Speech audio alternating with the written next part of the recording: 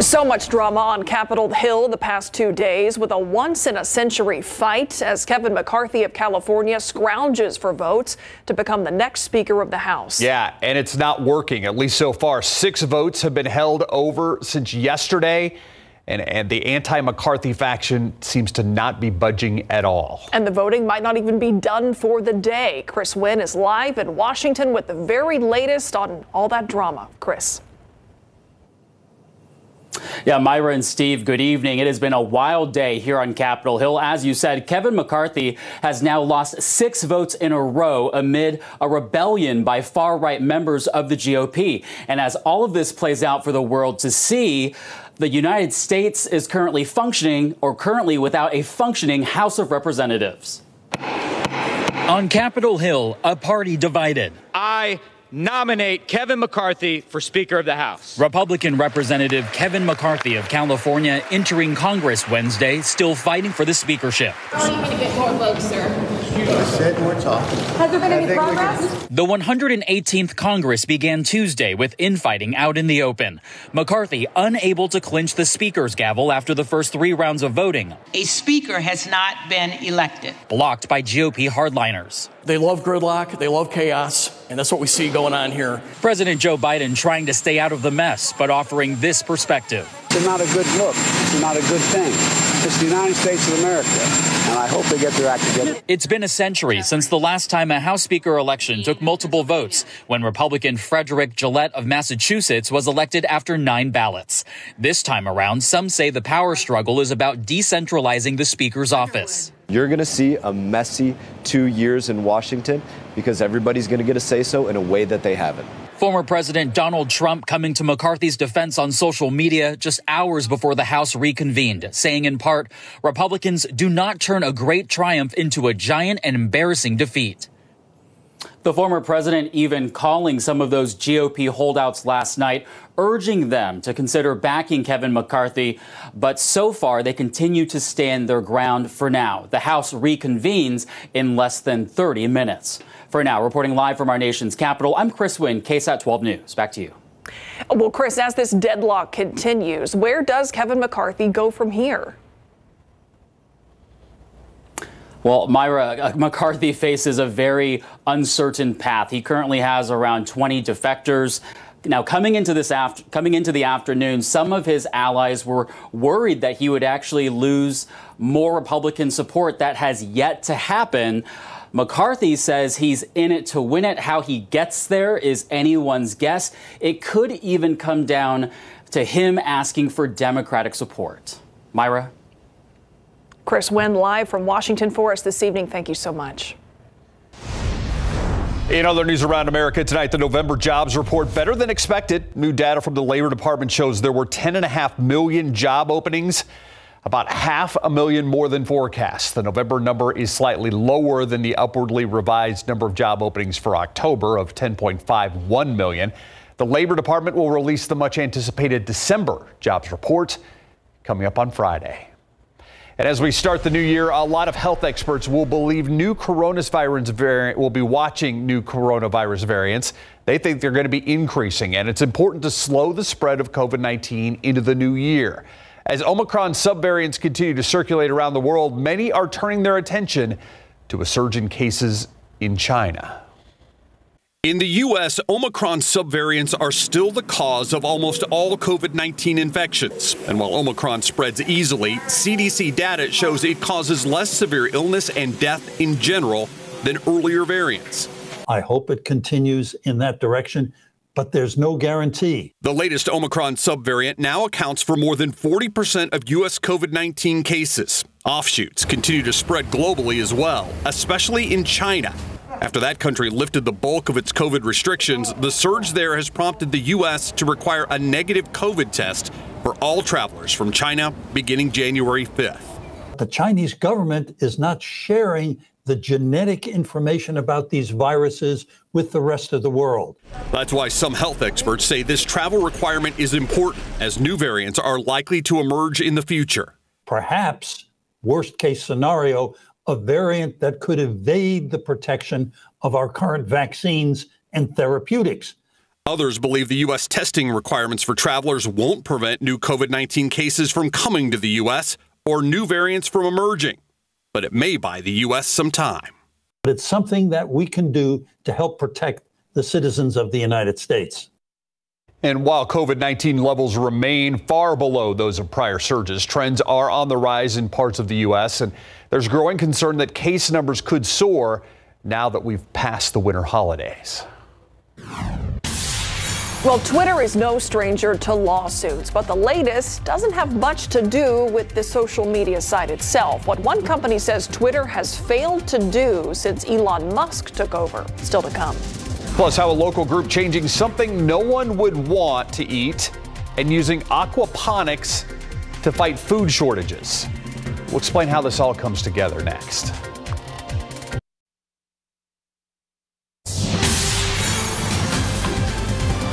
Using something called aquaponics to fight food insecurity. A local nonprofit says aquaponics is a system that could help solve the food shortage problem naturally. As Tiffany Huertas reports, the process takes something sort of gross, turns it into something delicious, and how schools are actually getting involved. This is our aquaponics system. Charles Blank is in charge of this project at Gardopia Gardens. This can change a household um, by making them, you know, food secure. Blank says the aquaponics system works using fish, plants, and bacteria. And what happens with this beneficial bacteria is it actually turns the fish waste, fish poop, into plant food. So it takes it from ammonia to a uptakeable form of nitrogen for the plants, and it's gravity fed into these tanks. The plants take out that nitrogen so it doesn't harm the fish and then this pump sends it back to our fish tank and it's just recirculating the entire time. This project was created over a year ago and it has already provided the community with food. And these crops are grown entirely off of fish waste, closed loop system, 100% sustainable, no outputs, no byproducts, and the best lettuce you'll ever taste.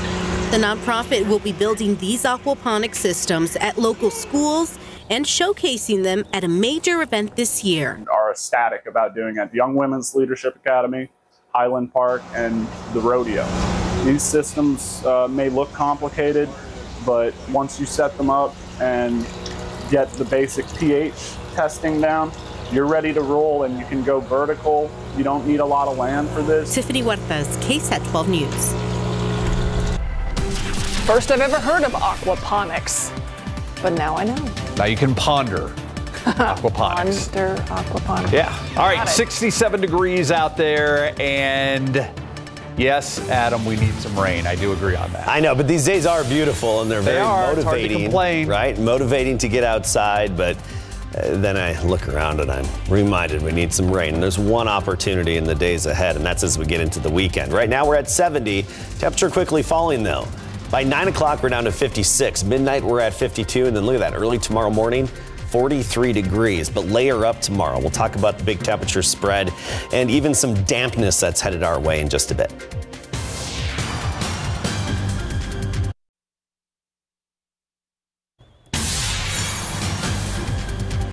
Well, here's something that Twitter can add to its troubles. The company being sued by a California landlord for breach of contract. According to the complaint, Twitter failed to pay rent on one of the tech company's San Francisco offices. Yeah, Columbia Property Trust asking the court to force Twitter to pay the unpaid rent of $136,000 plus interest and attorney fees. New Twitter owner Elon Musk reportedly stopped paying for Twitter office space to try and cut costs. Neither Twitter nor Columbia Property Trust have commented on the lawsuit. Well, the jackpot and the buzz will keep building for the drawing in the mega millions. No winner last night, so that means Friday's jackpot will be almost $1 billion. According to lottery officials, the top prize is creeping past 940 million. Yeah, with an expected increase in ticket sales, it will likely cross that billion dollar threshold. There have been only three bigger jackpots since the game began in 2002. The largest single ticket Mega Millions jackpot sold in South Carolina in 2018. That one was worth just more than $1.5 billion. I've heard a couple people around the newsroom say, if I win, here's, here's what I'm going to do. I'm guessing Those- we won't see them if are, they do win. Yeah, those are always great discussions. Keep dreaming. Keep Yeah. dreaming. Just Hey, being some- realistic. Somebody's got to win eventually. My mom's been saying that for how many years now? Still haven't won. Odds are against it.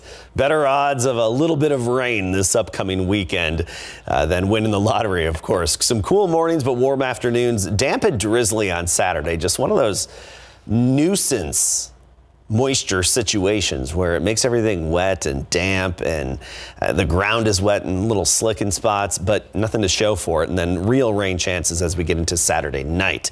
Here's a look at those rain chances. Actual light sprinkles and showers at about 20% Saturday morning. And then by Saturday night, we're up to 40%. So some scattered activity, but I, right now it's looking like that's mainly going to be east of I-35 with a little bit of a shot even here locally. You look at the January precipitation outlook. Unfortunately, here in Texas, we're in this brown area, which favors below average rainfall, especially around the Big Bend area. That includes us. And there's one chance in the forecast here of the next seven days. That's it. You look at the activity still up in the Northland. You got the snow falling, East Coast, New England, wound up system, but the most wound up system here, this big classic comma shape. That's the low pressure system that's slamming into the west coast of the U.S. right now, bringing with it heavy flooding rainfall and high higher elevation snow as a result as well. That system's going to fall apart a little bit, move eastward. And as it does so, a little bit of it's going to break off and uh, start to influence our weather a bit. That's this weekend. Between now and then, we've got this little bump in the upper level flow. See those lines bump upward? That's the ridge, and that's going to keep us sunny the next few days. Then we get a weak cold front forming from that energy and the chance of a few showers as we get into Saturday night, early Sunday. Here's the future cast fast forwarding to Saturday morning. Gray, cloudy, damp, drizzly, that nuisance moisture, reducing visibility out there maybe a peak or two of sun in the afternoon, and then the rain chances as the weak cold front drops in increase by Saturday night. 40% scattered, but that's especially along and east of I 35 with the more significant or more meaningful accumulations along the Gulf coastline. The closer you are to the Rio Grande, the less your rain chances are as we get into the weekend. Let's talk temperature. 70 right now, but a dry dew point of 25. So that gives us a relative humidity of only 18%. So the air is holding 18% of the moisture that it can at our current temperature. It's dry out there. Bulverde 63, Devine 73, 59 already in Kerrville. Meanwhile, 67 in Gonzales. Tomorrow morning, we're going to start the day in the low 40s, so you feel a bit of a chill in the air for early risers. 40 Bulverde Canyon Lake, even 35. Comfort, Kerrville area, Bandera 39 degrees. But by the afternoon, we warm up significantly. 43 at 7 a.m. By noon, we're at 70.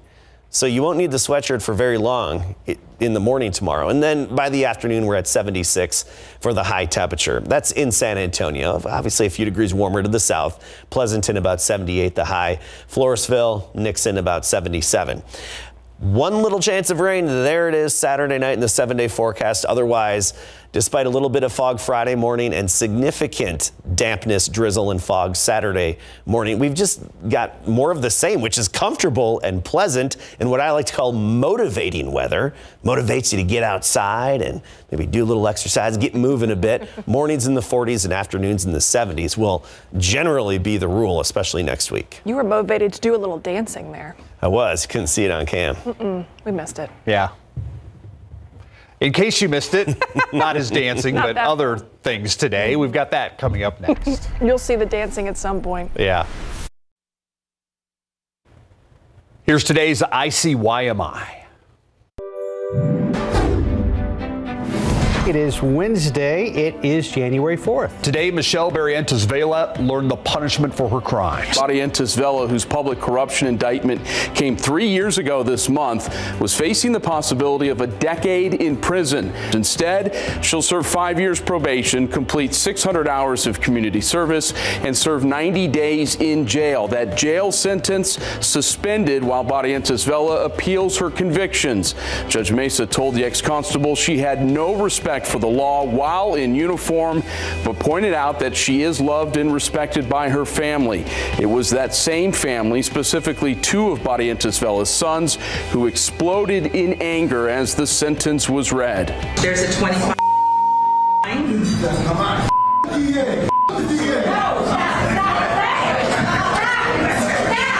A man is in the hospital after he was shot outside of a bar last night. This happened outside the Mustang Sally's on Roosevelt around 2 a.m.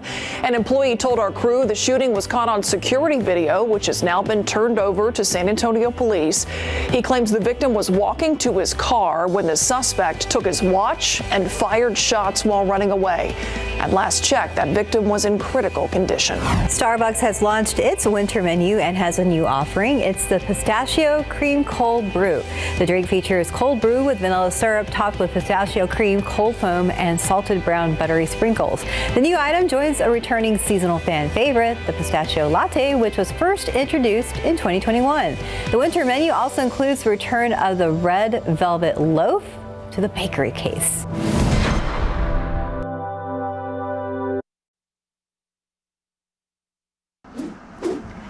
Want to show you what's happening on the TransGuide camera here at I-10 and Medical. These are the eastbound lanes we're looking at with the flashing lights and the flares there. There was an accident just beyond that sign from this view, but you can see two lanes are shut down right now. Traffic pretty slow going as it's headed into downtown here at I-10 and Medical. Adam. All right, temperatures cooling quickly this evening and tomorrow morning, 43 degrees. But notice how quickly the temperature climbs. I mean, by 10 a.m., we're up to 62. So you'll feel that chill briefly in the morning. Then that sun and dry air goes a long way to warm us up efficiently. Friday morning at 50, some patchy fog. 70s in the afternoons, really the next seven days. And a lot of dampness Saturday morning with the humidity and drizzle and a few scattered showers by Saturday night. Thanks for watching the news at 6. See you back here on the Night Beat at 10.